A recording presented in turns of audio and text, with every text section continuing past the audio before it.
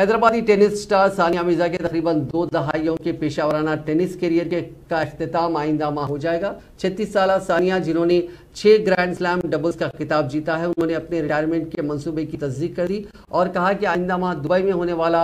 W event उनका आखिरी match होगा मिर्जा सबक वर्ल्ड नंबर वन डबल्स खिलाड़ी भी रह चुकी हैं तेरह अप्रैल दो